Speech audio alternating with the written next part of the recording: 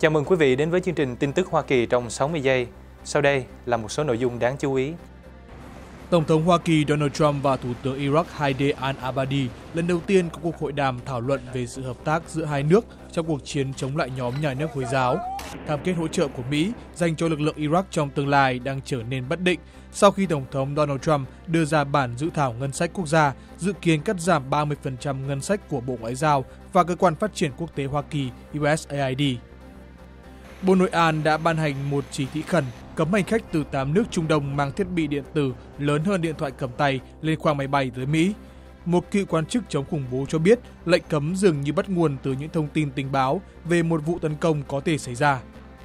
Tại phiên điều trần trước thượng viện để chuẩn thuận thẩm phán Neil Gorsuch vào vị trí thẩm phán tối cao pháp viện, các nhà lập pháp Đảng Dân Chủ lên tiếng quan ngại rằng ông Gorsuch sẽ khiến tối cao pháp viện nghiêng về hướng ủng hộ các tập đoàn doanh nghiệp lớn Ông Gorsuch ít nhất phải dành 2 ngày để trả lời các câu chất vấn của tất cả các tượng nghị sĩ trong Ủy ban Tư pháp Thượng viện Mỹ. Đó là nội dung bản tin hôm nay. Xin tạm biệt và hẹn gặp lại.